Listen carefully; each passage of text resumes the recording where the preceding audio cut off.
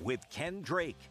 Vermont men's basketball has been doing what they can do to get through this season and this homestand. While they have not gotten much healthier, they have been winning as of late, a trend they were hoping to have continue.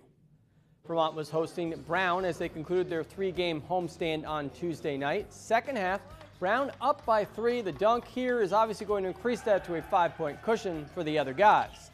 That may have woken up TJ Hurley, who had a very quiet 0 for 5 in the first half, gets his first points of the game, although he would not score again.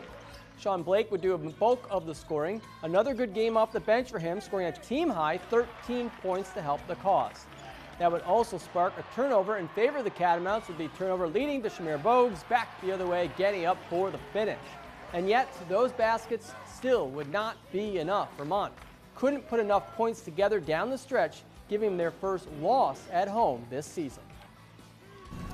I mean, it's it's just you know a couple of those where we got switched, uh, and and their big kid was being boxed out by one of our guards, but um, you know, I, I'm not sure. I mean, it's obviously been a point of emphasis. We've been a top ten rebounding team, defensive rebounding team in the country for most, if not all, of my uh, tenure here, and, and and clearly this year that's not the case.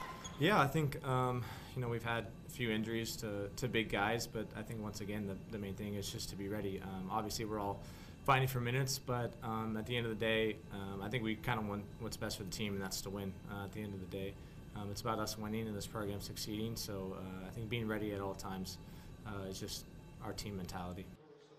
Vermont now heads on the road with two more Ivy League games versus Yale this coming Saturday, followed by Colgate.